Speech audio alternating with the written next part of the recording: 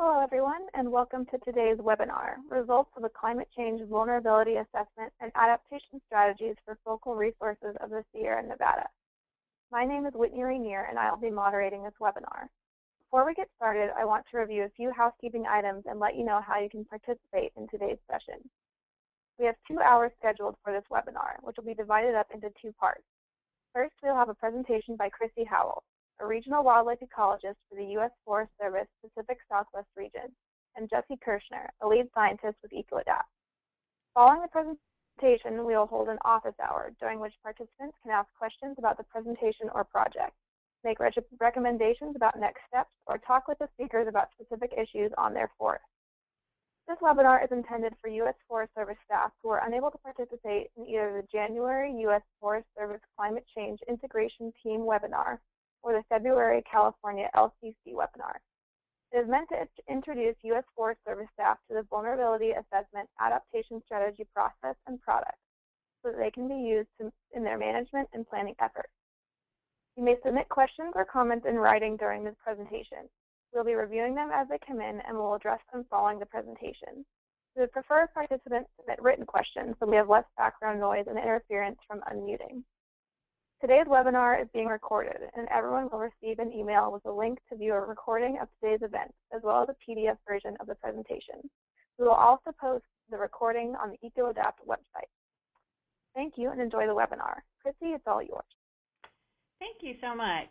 Um, and I'd just like to add that um, even if you attended the January or February webinar, we'll be providing more information on how to actually apply the information. So um, it's, it's not a complete repeat um, and, uh, you know, so just wanted to let folks know that. So yeah, that today um, we'll be giving this webinar, and um, I'm starting things off, but um, quite uh, the bulk of this work um, was done in partnership with EcoAdapt, um, and I'm really happy today to have Jessie Kershner available from EcoAdapt to participate in this webinar as she's been um, involved throughout this entire process. And we will be talking about the Climate Change Vulnerability Assessment and Adaptation Project in the Sierra Nevada. This project also has implications outside of the Sierra Nevada, and we'll talk about that as well. If I could have the next slide. The way that we will be presenting things today, we'll give um, the project history, need, and process, um, and then we'll go into the vulnerability assessment, and then the adaptation planning that followed from that. Um, we'll be going over the climate-informed mapping that was part of the overall process, and then the broader impacts and application. Um, and then, as Whitney said, we'll be opening it up to questions, and um, both questions about the presentation as well as questions you might have specifically about issues on your forest um, and how to integrate climate change considerations into the work that you're doing. So next slide. The project history. Um, this project started in 2010, if not earlier, which actually predates my involvement with the Forest Service. Um, Diana Craig and Bruce Goines sought input from stakeholders, from forests and partners on conducting a climate change vulnerability assessment. And a number of stakeholders were very interested in being involved and had a lot of input. And EcoAdapt and partners submitted a grant proposal in 2012 to the California LCC, and you'll hear us mention California LCC multiple times today. That's the California Landscape Conservation Cooperative. And that was to conduct a vulnerability assessment and develop adaptation strategies for focal resources in the Sierra Nevada. And in fall 2012, that was funded. So most of this work has been funded by an outside entity, the California LCC, and they provided that funding to EcoAdapt to work together with the Forest Service. So it's it's been a, a huge partnership project, and we feel really fortunate the way the funding worked out, and also um, not just the funding, but the the partnership opportunities that have arisen out of this, especially having a project that um, involves the California LCC. So next slide. When this project originated, um, you know, thinking about the project need, there um, we have a climate scorecard um, throughout the United States, and so within each region we score how we're doing on these 10 different elements. and one, uh, one of the elements has to do with assessing vulnerability. That's um, element six. And another has to do with adaptation actions on the forest. That's element seven.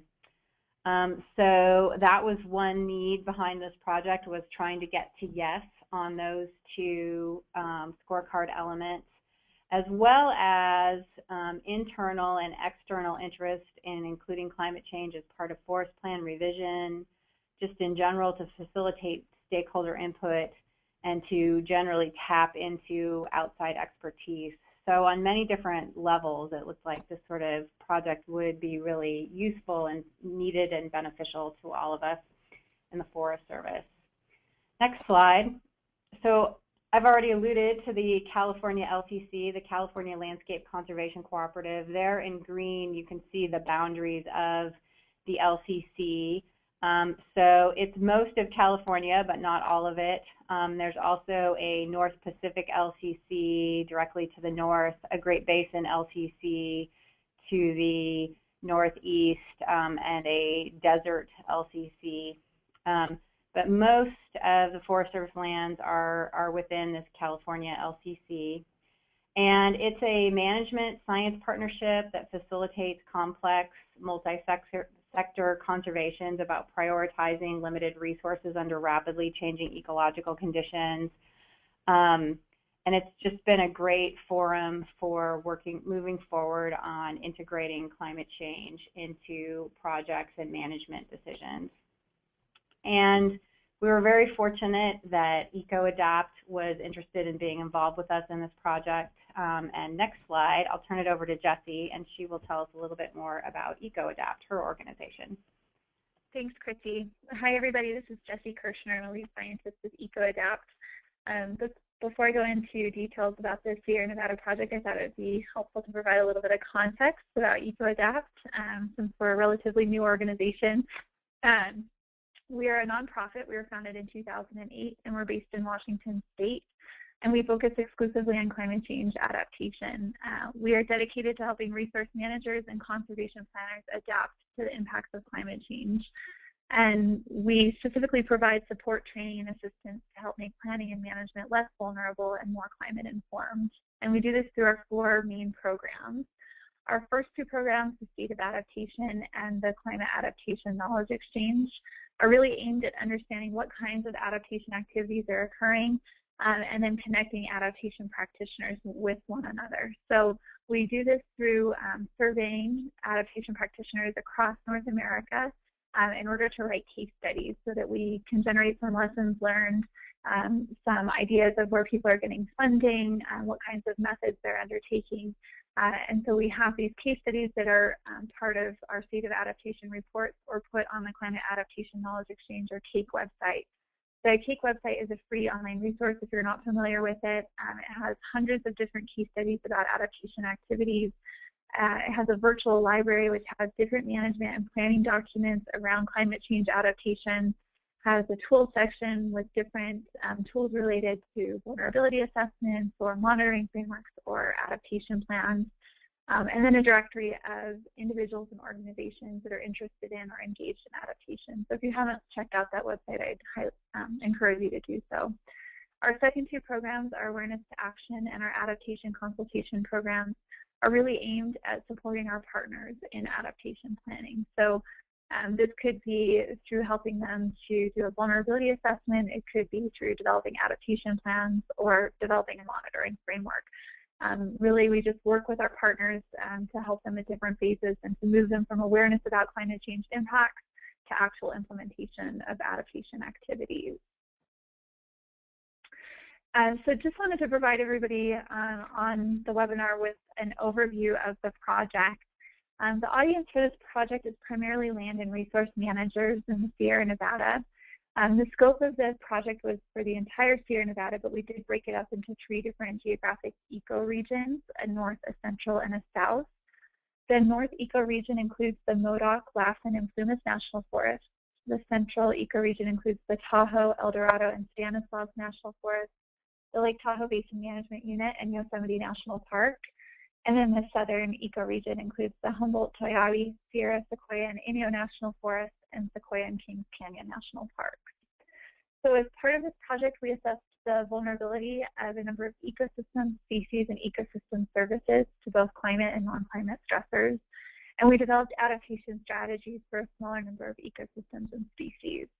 Um, we'll be presenting the ecosystem services that we looked at, um, but we won't go into any detail as part of this presentation. So if you have questions, you can email either me or Christy later and we can tell you more about the ecosystem services. Um, so the process that we undertook was really comprised of these four main steps. The first step was to identify the focal resources that we wanted to consider as part of this project. So what ecosystem species and ecosystem services did we want to consider? Uh, and then to gather um, relevant background data and information on those focal resources. The second step was to assess the different components of vulnerability during a vulnerability assessment workshop. The third was to then synthesize that vulnerability assessment information and then following that synthesis, apply the assessment results and adaptation planning during an adaptation workshop. So I'm going to focus, or actually I'm going to turn it back over to Chrissy right now to talk about how we selected um, our focal resources. Thanks, Jesse. As I mentioned earlier, we had various stakeholder groups that were involved before this project um, even got off the ground, and those different groups would come up with different lists of species. And the question came up of whether to focus on species or ecosystems or ecosystem services. The list ranged from 5 to 65 resources. And it was unlikely that with the funding that we had um, that we could cover everything. So we solicited further feedback from these various stakeholders on how to do the groupings. And one thing that we found was that while the species list varied, we were coming up, different groups were coming up with similar lists for, for ecosystems. And so next slide. Um, so that's what um, we focused on was coming up with um, basically coarse filter versus a fine filter approach in, in selecting lists. Um, so the, the species is the fine filter and the ecosystems were the coarse filter. And we also had a process where we um, basically, it was a continuous iteration of trying to refine these species lists and soliciting input on whether people and experts thought that the the organism that they perhaps felt most strongly about as a as a conservation group, whether attributes of that species were captured by the coarse filter or not. So there was a lot of input with the stakeholders going back and forth with that. And ultimately, we came up with the um, next slide, this is the um, final list of focal resources. So on the far left column, you can see the coarse filter, the ecosystem, so alpine, subalpine, yellow pine mixed conifer, wet meadows, red fir, oak woodlands, chaparral, sagebrush, aquatic. And then within each of those fine filters or specific species that were addressed included bristlecone pine, white bark pine, bighorn sheep, Fisher under yellow pine, willow flycatcher and aspen under wet meadows, red fir and marten under the red fir coarse filter, blue oak and black oak under oak woodlands, wood rat and mountain quail under chaparral, sage grouse under sagebrush, and then the two yellow-legged frogs under aquatic. So ultimately, that was the list that we used to move forward with um, in doing the um, next two steps of the process that Jesse will talk about. So I'll turn it back over to Jesse. Thanks, Chrissy. All right, so we're going to talk um, more specifically about um, the vulnerability assessment process that we undertook. Uh, before I get into those details, I just, just want to make sure that everybody's on the same page about um, why you conduct a vulnerability assessment and what the different components are. So the purpose of conducting a vulnerability assessment is to help to identify what resources are most vulnerable and why. And why is really important because it helps you to identify the kinds of adaptation strategies that you might take to reduce vulnerabilities. Um, vulnerability assessments are comprised of three main components, exposure, sensitivity, and adaptive capacity. So sensitivity is a measure of how much a resource is likely to be affected by a given change in climate. Exposure is how much of a change in climate the resource is likely to experience. And adaptive capacity is the ability of the resource to cope with or respond to changes. So the goal of this particular vulnerability assessment was to evaluate the vulnerability of selected resources to climate and non-climate stressors using a combination of literature review, spatial climate information, and expert input.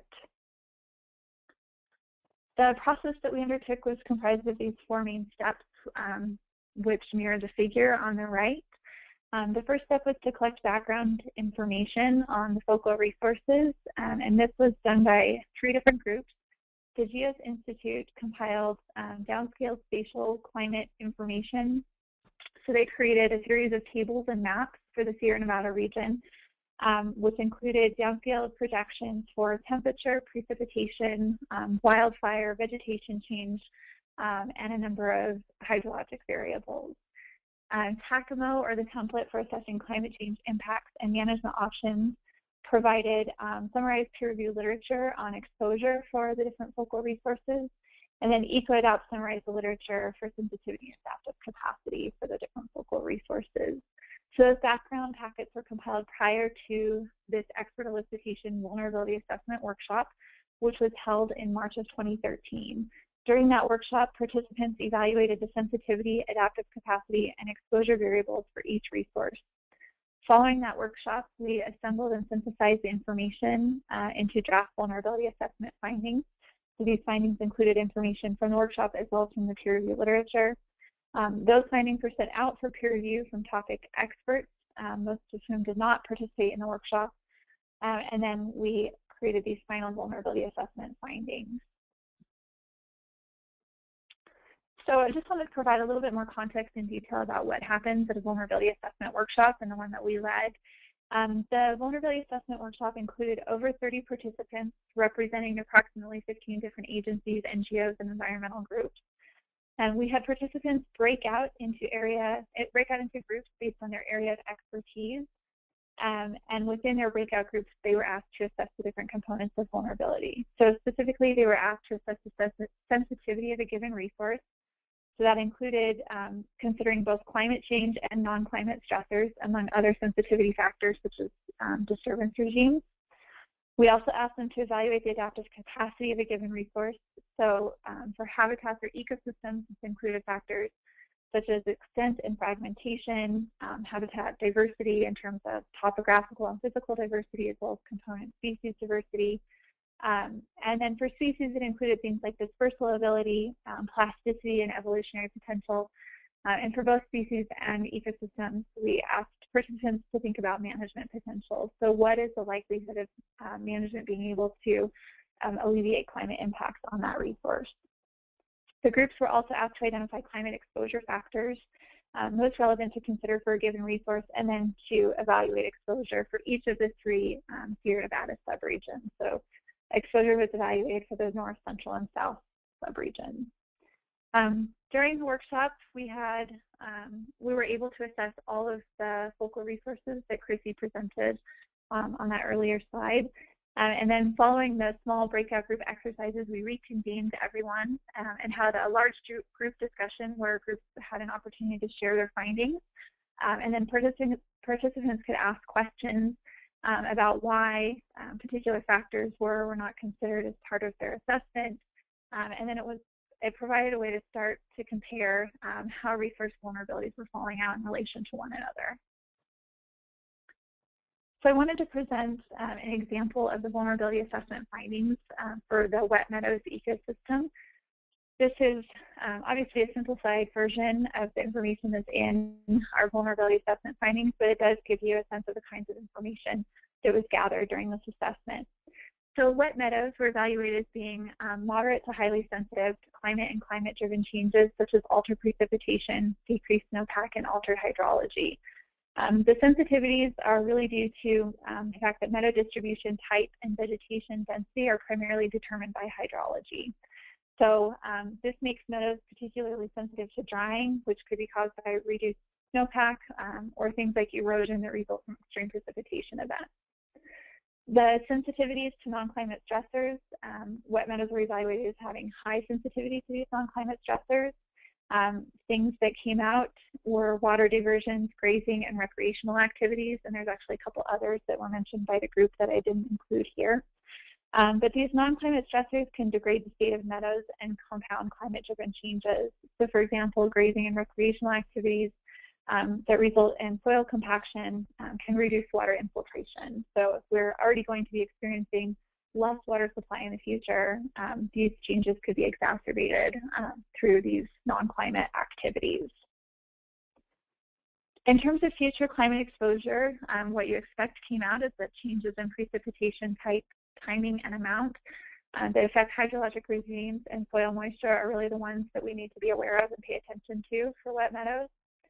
Um, the adaptive capacity for wet meadows was evaluated as being pretty good, so more moderate to high adaptive capacity. So for example, the component species diversity of wet meadows is thought to be quite high, um, but some of the things that contributed to more of the negative adapt adaptive capacity ratings for wet meadows included their currently fragmented distribution within the Sierra Nevada and many of them existing in a degraded state. So now I want to take sort of a step back and think about how you might apply this kind of vulnerability assessment information in management decision making. Um, so this example that I've presented here uh, is in terms of the forest plan revision process um, and revising management objectives as part of as part of that process. Um, so the management objective that I've written down here is from another forest plan outside of the Sierra Nevada, but I think gives a good idea uh, of how you might use this vulnerability assessment information. So the current management objective is that within 10 years of forest plan approval, restore one groundwater dependent ecosystem that was damaged or degraded by previous management activities. So from things like abandoned mining or dredging. The potential vulnerabilities for that groundwater dependent ecosystem um, are that changes in snowpack or groundwater recharge may eliminate or significantly degrade some groundwater dependent ecosystems. And so as we think about where to restore, we might want to think about restoring areas that are likely to have future water supply so that we're investing our money in places likely to succeed. So I've just included that idea as um, a revised management objective where the beginning is the same. So within 10 years of forest plan approval, restore one groundwater dependent ecosystem that was damaged or degraded by previous management activities and is likely to retain water supply in the future given projected climate changes. So just as a way to think about incorporating best available science now um, into these objectives so that we are potentially investing um, restoration dollars and activities in places that are likely to succeed in the future, um, given these potential changes in water supply. So now that I've presented an example for a single resource, uh, I wanted to provide folks with an idea of the vulnerability assessment results across ecosystems and then across species. So um, we'll start with ecosystems and just to quickly orient you to this figure, we're going to start in the upper right. Um, and if you look along the x-axis along the top there, we have sensitivity and climate exposure. So as you move from left to right, you move from low sensitivity and exposure to high sensitivity and exposure. And then on the y-axis, as you move from bottom to top, you move from low adaptive capacity to high adaptive capacity. So those ecosystems that have low sensitivity and low exposure uh, and high adaptive capacity occur near that green bubble of low vulnerability in that upper left quadrant. Then if you have um, ecosystems with high sensitivity and high exposure and low adaptive capacity, you occur in that bottom right um, high vulnerability bubble. And so this figure and its orientation is just repeated for each of the three geographic subregions. So north, um, Sierra Nevada is in the upper right, central is in the bottom left, and south is in the bottom right. Um, and so I just wanted to point out a couple um, of themes or, or outliers as part of this figure. I won't spend too much time on it. You can look at this figure um, in our final report if you're interested in exploring it more. Um, but one place I do want to direct your attention is to the alpine subalpine ecosystem, um, which was the ecosystem judged to be more vulnerable than all the other systems, having a combination of moderate to high exposure and low to moderate adaptive capacity. And what you can also see is that the vulnerability of this system increases in the northern Sierra Nevada compared to the central and south. Uh, and this is due to changes in snowpack being um, more significant in the northern Sierra Nevada. The other ecosystem I want to point you to is the oak woodlands. So this ecosystem was considered to be the least vulnerable system, uh, and it has more of a low to moderate exposure, moderate to high sensitivity, and moderate to high adaptive capacity. Um, oak woodlands exhibit general resistance to short-term changes, and they have pretty high um, tolerance for varying soil types, temperature, and precipitation. Um, the vulnerability of oak woodlands was evaluated as actually being higher in the southern Sierra Nevada, and this was primarily due to the impacts of non-climate stressors, um, particularly land use and development. The remaining ecosystems that we looked at, so yellow pine mixed conifer, um, red fir, sagebrush, chaparral, wet meadows, um, were all evaluated as being more moderate uh, in their vulnerability. So now we're going to shift to looking at the results summarized for species. Um, the figure orientation is the same. So in the upper right, we have the northern Sierra Nevada. In the bottom left, we have the central. And then the bottom right, we have the southern Sierra Nevada. And then again, low vulnerability occurs in that upper left quadrant and high vulnerability in the bottom right. Um, species vulnerabilities generally fell into one of two categories, um, more moderate, so these are things like blue oak, black oak, mountain quail, and fisher, um, and then moderate to high. So these were sage grouse, um, marten, bighorn sheep, willow flycatcher, whitebark pine, and red fir. Um, several of the species shifted from moderate vulnerability to more moderate to high vulnerability, uh, or vice versa, depending on um, subregional differences in exposure. So you can see some of those shifting around depending on um, where we are geographically in the Sierra Nevada. The red fir, willow flycatcher, and whitebark pine um, were the outlier species having the highest vulnerability of those that we looked at. Um, for example, red fir and willow flycatcher were two species um, that we looked at that occur in higher elevations and are particularly sensitive to changes in hydrology. So in the case of red fir, um, changes in snowpack and soil moisture affect the species directly, which really increases vulnerability. And in the case of willow flycatcher, it's the changes in water supply that affect wet meadows, um, which affect the species in turn. The vulnerability of a number of these species, um, particularly blue oak, black oak, fisher, and mountain quail, really stayed moderate throughout and didn't, didn't change um, or vary geographically. So just wanted to provide an idea of the kinds of products that have come out of this. Um, we have three main products. The first is this workshop support page, uh, and everything's available at the link that I've included at the bottom of the page here, and we will be sending out a PDF of the presentation uh, later so you can access this. Uh, the workshop support page contains all of the materials from the workshop, including the presentations, handouts, recommended readings, and other content. Um, we have a final vulnerability assessment report, um, which describes how the focal resources were selected. Um, it talks about the vulnerability assessment model that we used and how it was applied um, in this project. And then we have the findings from the vulnerability assessment.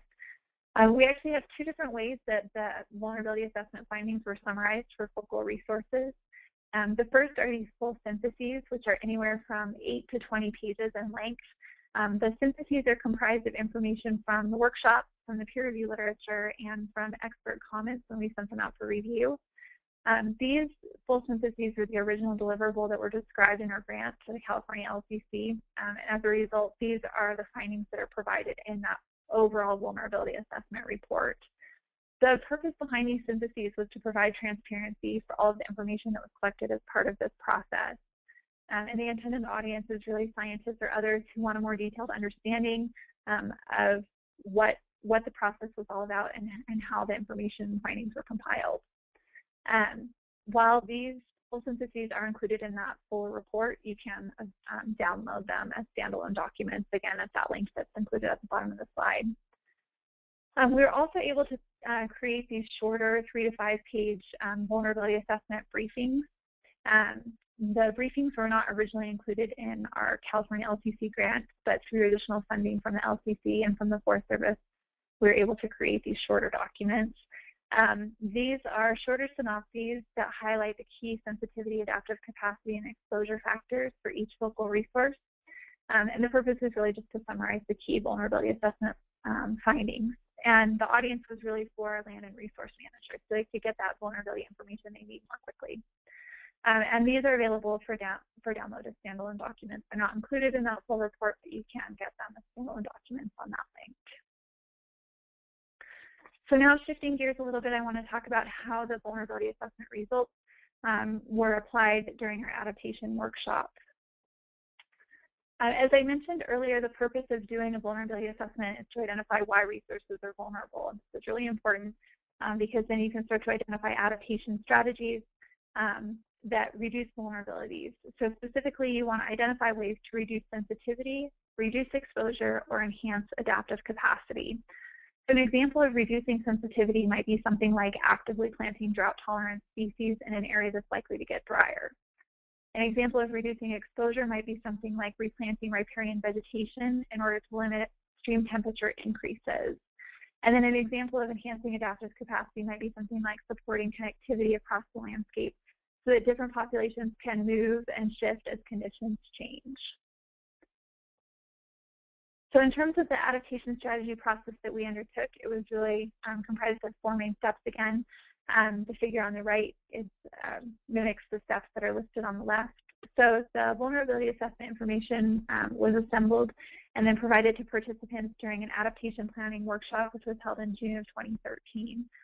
Um, following that workshop, we compiled and synthesized the adaptation strategies um, into a report, which was then sent out for peer review um, and comments and revisions incorporated into our final adaptation report. And I'll go into more detail um, on the workshop here in just one second. So during the adaptation workshop, um, we had participants, again, break out into groups based on area of expertise. We had over 30 participants representing approximately 20 different agencies, NGOs, and environmental groups. Um, it was a shorter workshop than our vulnerability one. Um, our vulnerability assessment workshop was two and a half days, and this was only a day and a half. Um, and within um, each of the breakout groups, we had um, the teams work together to first develop uh, management goals for at least one focal resource. They were then asked to evaluate their management goal feasibility um, using the vulnerability assessment findings. They then were asked to generate a suite of adaptation approaches and actions for a given focal resource, and then to identify the feasibility of implementing those actions. Lastly, we asked them to begin to identify resources needed to move forward with implementation of those adaptation actions.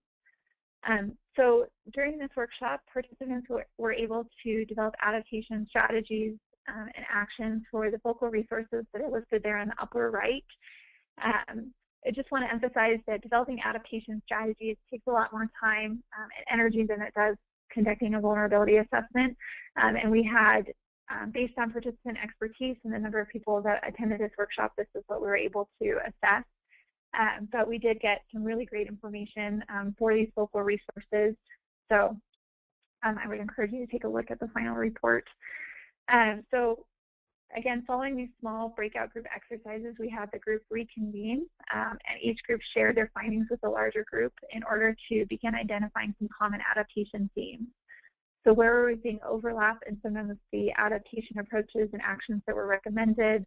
Where are we seeing um, potentials for collaboration or potential um, similar barriers to implementation, things like that. Um, so this just provided an opportunity for people to start to share and get ideas um, of how we might start to think about implementing some of these actions.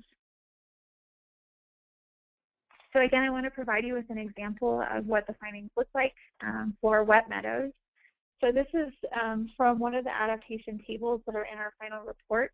Um, just to quickly orient you on the left-hand column, we have um, a more general adaptation approach that the group identified. The middle column are more specific or strategic actions you could take under that approach. And then the right-hand column is the rationale. So why would you want to undertake this approach? Um, so if we look in the upper left box, um, one of the adaptation approaches that the Wet Meadows group identified was to restore floodplain function, um, as this approach helps to limit impacts from projected climate changes, including things like increased drought, reduced soil moisture, and altered flow regimes. Some of the strategic actions that the group identified included things like establishing setbacks, um, restoring soils and structure, and in-stream restoration. And the rationale behind um, this approach and these actions is that the knowledge, infrastructure, and funding already exist. Um, it's a proven method. People are familiar and comfortable with it and feel like they can be successful at it. So it's is a good adaptation approach to continue doing. Um, but what the group did note is that the current pace and scale of these kinds of restoration activities isn't sufficient to deal with potential climate in, impacts. So we really need to increase um, our efforts and funding for these kinds of activities in order to keep pace with um, potential climate changes. I mentioned earlier that we also asked the group um, to identify the feasibility of implementing the approach. So um, we asked them to think about whether or not the action was capable of being implemented and how effective it would be. So those boxes that are highlighted in green on here were thought to have high feasibility, so high, high likelihood of being implemented and high effectiveness. And those boxes that are highlighted in yellow were thought to have more moderate um, feasibility. So what you can see is that bottom row of the table, um, so the adaptation approach around reducing the negative impacts of recreation roads and trails. Um, this was thought to have more moderate feasibility, um, and this is just because people rely on roads and trails um, for recreation access, and it may be difficult to change standards um, around this, particularly if people are accustomed to having these trails and roads already open, and then taking them away might take a little bit of um, a little bit of um, public education and outreach around that and encouragement and understanding as to why why that needs to happen um, in order to preserve these meadows for the future. So again, a couple of products that have come out of um, this piece of the project. Again, a workshop support page, which is available at the link below, um, contains all the materials from the workshop, including the presentation handouts um, and recommended readings. And then we have the final report. So the report is comprised of information from the workshop. Um, we also supplemented the adaptation strategies um, and actions that the groups identified with some from the peer review literature. So those are included in this final report as well. Um, and this also has comments and revisions from reviewers incorporated. So again, I wanted to think about how you might apply these kinds of adaptation strategies in management decision making. And this is, again, in the context of forest plan revisions. Um, and the second example is around designing alternative management strategies. So this box that I have on the left is from um, another forest plan, again, outside of this Sierra Nevada, um, and it's around maintaining water quality. So the current management strategies are to maintain water quality and to minimize the sediment that is generated and delivered to water courses from active livestock grazing allotments. The grazing activity should locate new livestock handling and or management facilities out of resource conservation areas locate salting efforts out of resource conservation areas, and harden or relocate trailing stream crossings or approaches. So um, adaptation strategies can be integrated or identified as alternative management strategies in a couple of ways. One is to sort of add them in to these existing bullet points um, or to create a new bullet point altogether. Um, so that's what I've done here in this box on the right, um, where I've taken the existing bullet point around locating new livestock handling and or management facilities out of resource conservation areas. Um, we might also want to consider locating these handling facilities out of areas that are projected to experience increased flood risk, landslides, or erosion due to climate change. So if our goal is really um, to maintain water quality and to minimize sediment delivery, we probably don't want to have livestock handling facilities in areas that are likely to have increased erosion because they're likely to experience either increased precipitation events um, or things like shifts from rain to snow um, and, and um, just really changing um, the water delivery to those systems. Uh, another uh, adaptation strategy that we can consider incorporating here is around grazing intensity and timing. So we could have an alternative management strategy that says we want to limit grazing intensity and timing during seasons projected to experience increased precipitation. So for example, during winter and spring in the Sierra Nevada. Um, grazing can increase runoff and erosion following rain events, um, so we probably don't want to have um, high intensity uh, grazing during during these seasons um, that that increased precipitation could occur. So again, just sort of wanted to bring this back into how you might start to incorporate both vulnerability and, and adaptation information in these kinds of um, management planning efforts. So the last bit that I want to talk about as part of this project is around climate-informed mapping. Um, this was something that we incorporated a bit into the adaptation workshop that we held in June of 2013. So we didn't get to do as much with it as I would have liked, um, but I did want to present the information that was gathered and, and, how you might consider using it so that people can continue um, to apply this information. So um, information from the vulnerability assessment as well as any uh, stakeholder um, engagement process that was led as part of that vulnerability assessment workshop was used to identify and gather key climate and non-climate spatial data sets for a given resource. Um, and then we're used to create maps. So if you look at this um, series of maps that I have here, the map on the left um, is the current meadow distribution within the Sierra Nevada. The map in the middle is um, projected changes in groundwater recharge for the northern Sierra Nevada. And then the map on the right is around um, current livestock grazing allotments in the Sierra Nevada. Um, so what we did is pull together these different um, climate and non-climate spatial data sets in order to generate these climate-informed maps.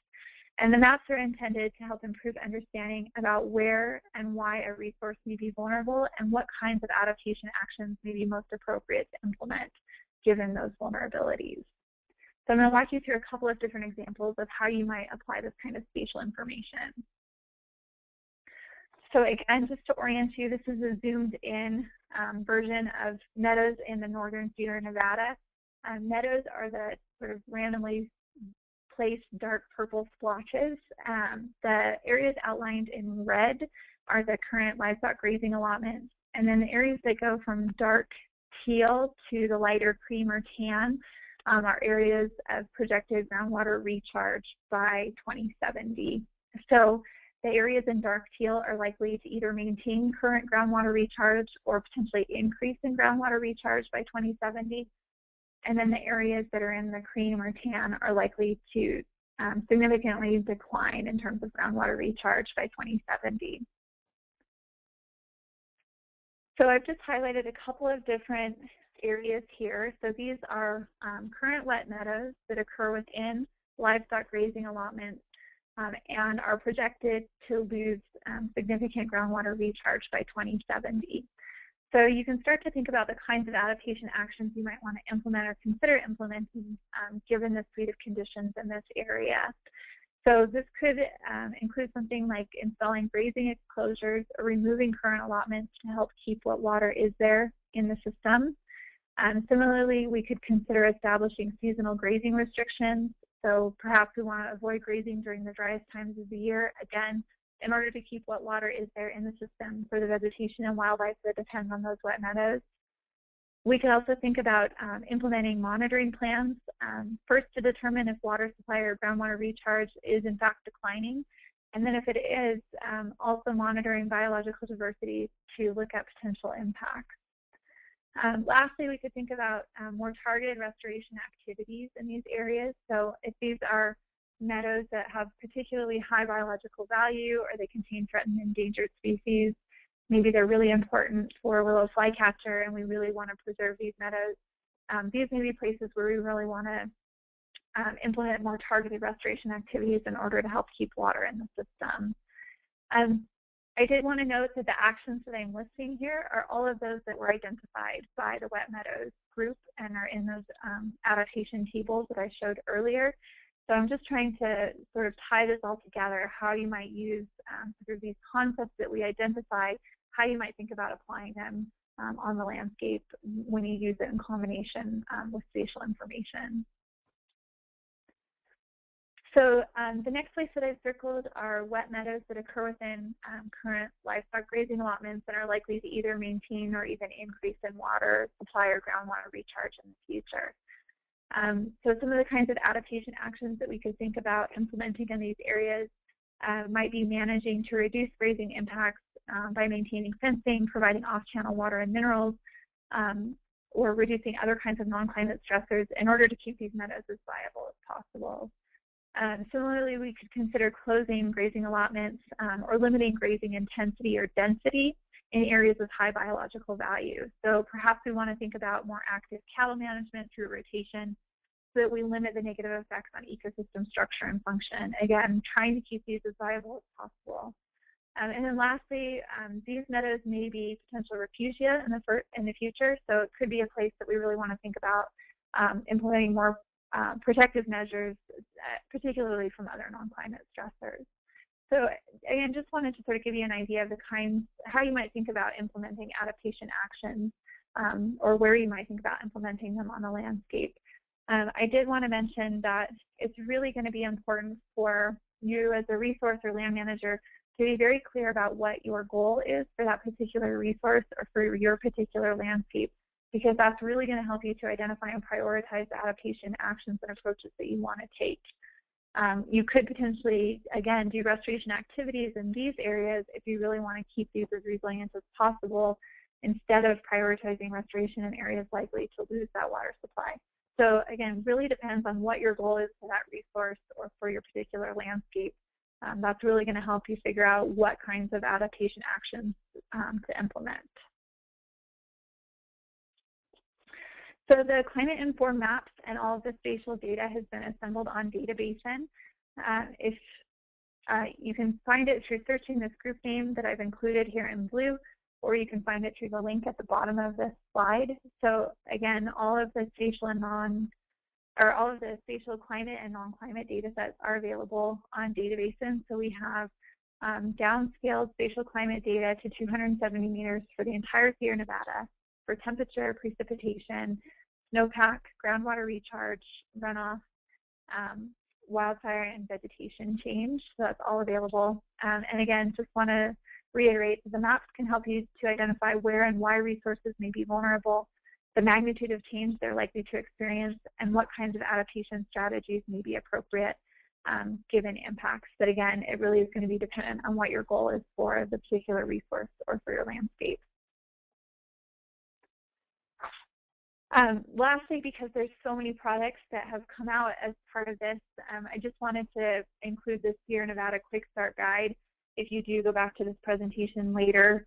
Um, if you're quite new to climate change um, and looking for more of an introduction to climate change and adaptation planning in the Sierra Nevada, we recommend that you start with the second section of the vulnerability assessment report and then go back to um, the future climate change projections. If you're looking for more specific climate change vulnerability assessment information, we recommend you go straight to that vulnerability assessment report. Um, if you're look, looking to integrate climate change into existing management activities, we recommend you start with the Climate Change Adaptation Strategies report. And again, if you want that spatial climate data and information, um, you can get that through DataBasin. So this is sort of more of a resource for later.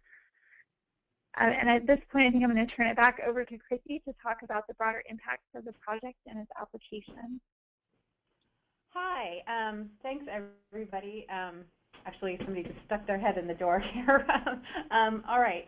So um, yeah, the climate change scorecard I'll talk about in the next slide, but I wanted to also touch on some of the broader impacts of this project.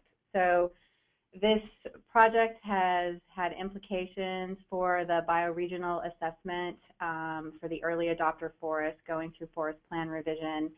So um, while these final products came out in February or March, um, throughout the process, we have been tying in with the regional office, with the planning staff, so that this information can get incorporated. I know that was a concern of stakeholders as well as folks on the forest. So just continually trying to pull in that information and make it available. And then um, outside of our region, in Region 1, they have been using this um, same approach. Um, and so this, this project's actually had implications there as well as up in Region 10 with the Tongass.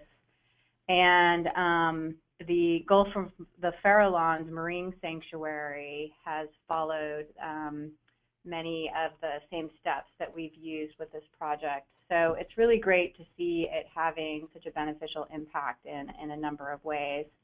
On the next slide gets at um, the scorecard. So as I mentioned earlier, there are two elements that really relate directly to this. Element six, assessing vulnerability, and element seven, adaptation actions. And then I, I didn't mention this, but there are two other uh, scorecard elements, science and management partnerships, as well as other partnerships. So um, the work on this project has really helped move the forest to yes in if, if they weren't already in relation to those four different elements. And for element six, we saw an increase from 47% of the units reporting yes in fiscal year 12 to 56% and in fiscal year 13. And with element 7, we moved from 76% saying yes in fiscal year 12 to 94% in fiscal year 13.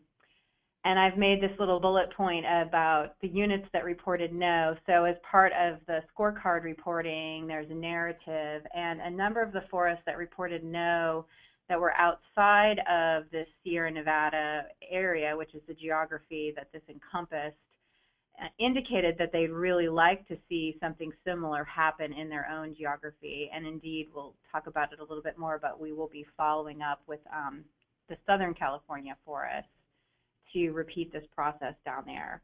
Um, so we've been really pleased with the process. We've learned a lot, and, and as we as this gets implemented in other locations, we've also given suggestions on you know how we would tweak it or do things a little bit differently. Um, and we feel really good about the fact that this has just been a, continuously an adaptive process that we've all learned a lot from. So next slide. turn it back over to Jesse. Thanks, Chrissy. Um, so just briefly wanted to talk about um, next steps for um, this project and beyond and for the remainder of 2014. So the first um, are these targeted agency trainings, which we'll be holding in fall of 2014, likely October. So we will be leading a series of um, intensive, we're saying one day trainings, but really they'll be anywhere from four to six hours um, in each of these three geographic subregions, North, Central, and South Sierra Nevada, um, during which time we want to meet with Forest Service staff at regional or local offices to present the project results if they're not already familiar with them, uh, and then work with staff to apply the information in their management decision-making processes. So really working with them um, if they need help with designing draft plan components or um, feeding into some sort of resource conservation strategy or monitoring framework. Um, basically, just working um, with resource managers to help integrate and think about how they can use this kind of information um, in their um, management decision making. The second step that we have is this tailored product development piece. Um, we've already developed these uh, resource vulnerability assessment briefings um, but we're going to also be developing a series of vulnerability and adaptation briefs, which are actually going to be even shorter. They're going to be um, two pages um, for each resource. So on the first side, we were going to do vulnerability assessment information, and then on the second side, do um, adaptation actions that could be taken to reduce those vulnerabilities. So we're in the process of developing those right now. Um, and then we've been talking with folks about other potential tailored products, um, one of which was around public uh, outreach and engagement. So working to improve um, outreach around um, potential climate change impacts on forests or forest resources, and then um, thinking about the kinds of adaptation strategies that the forest might be undertaking to address, um, again, those resource vulnerabilities. So um, we're totally open to ideas if folks on this call have thoughts on what kinds of um, more specific or tailored products would be really useful to you. Um, always open to thoughts and ideas, so definitely share those if you've got some. Um, and then lastly is this um, Southern California forest piece. So as Chrissy alluded to, um, we're going to be expanding this uh, methodology into Southern California. So we're going to be working with uh, the Forest Southern California National Forest um, through fall of 2014 and into 2015 uh, applying a similar process and spending a bit more time and emphasis on the adaptation planning piece. So we're really excited to get to get started and going on that um, later later this year. Um, and then lastly, just wanted to thank our funders, the California LCC, the Forest Service, and the Yale Mapping Framework for allowing us to do this work. Um, and a big thank you to our partners, very much the Forest Service, um, but also the GEOS Institute, the Conservation Biology Institute, and TACCIMO. So at this point, I think we're going to open it up to what we're calling our office hours or questions. Um, we can stick around for the full hour if there's a lot of questions that folks have. Um, otherwise, we'll just do a normal Q&A. Um, but we'll open it up to questions about the presentation itself, um, any kinds of suggestions on process for the Southern California Forest, um, or more specific questions about climate issues uh, on your forest.